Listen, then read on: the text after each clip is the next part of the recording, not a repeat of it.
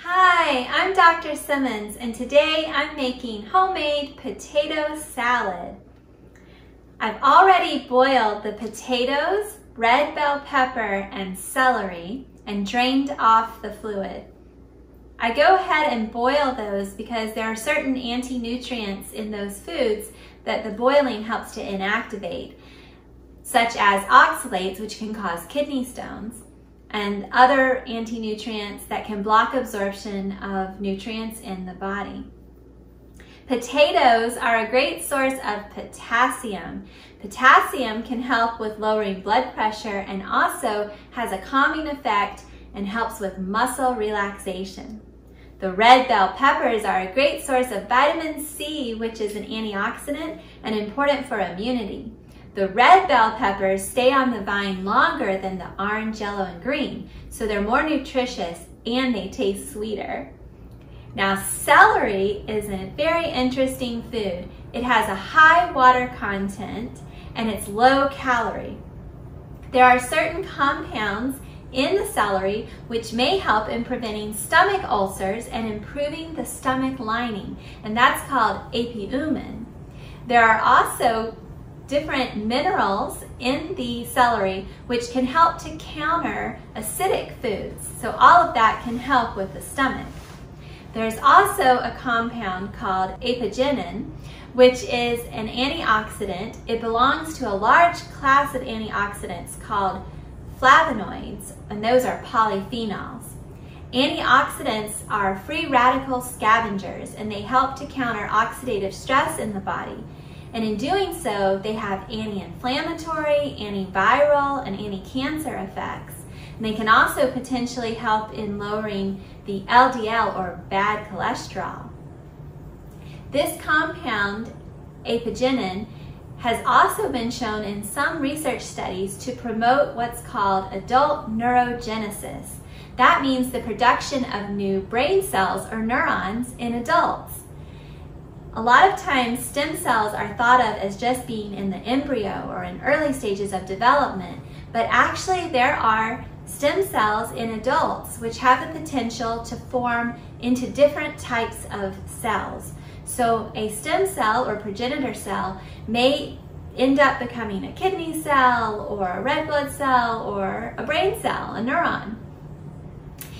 Most of the neuron progenitor cells or stem cells in adults are in the area called the hippocampus. That's a part of the brain that's involved with memory formation. New memories have to go through the hippocampus in order to reach long-term storage in the brain. And so it makes sense that some of these new neuronal progenitor cells could be in that area. These particular cells in the area of the hippocampus can form into different types of brain cells because there's other cells in the brain besides neurons, but they can also become neurons. When I did my undergraduate studies at Stanford University, that's where I got my Bachelor's of Science in uh, Biological Sciences, I did my honors thesis in the area of adult neurogenesis, and I looked at how exercise could induce this neurogenesis in the brain. But I'm, i find it really interesting that this compound in celery, based on this other study that was done in San Diego, um, may potentially induce neurogenesis. It gives hope for the future for memory conditions and dementia because a long time ago it was thought that once neurons were formed, that was it, that there couldn't be any new neurons formed.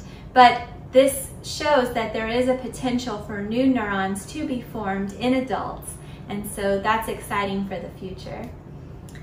Now I'm also adding to this mixture some mustard and mayonnaise, and I'm going to add in a little bit of maple syrup. So I'm going to mix all of these together. This mayonnaise, by the way, is homemade mayonnaise, and that way I know everything that went into it and I make sure that there's no preservatives or added sugars. It's pretty easy and quick to make and has a great flavor. Sometimes I make my own homemade mustard, but I've also been able to find mustard in the store that's organic and does not have any preservatives or added sugars. So I always check those labels. And then I like to use maple syrup as a sweetener because it has a lower glycemic index than table sugar. Um, and so that helps with blood sugar regulation. And it also has many minerals like manganese and zinc, which are good for the body. So I'm gonna mix all of this together. The potato salad is a great dish. I like to eat some now and save some in the refrigerator for later. It can go on its own or with other meals, and I really like to have it any time of the year. Mmm, and that's it. It's pretty quick and easy, but delicious, and it looks great too. I'm Dr. Simmons, living a better life.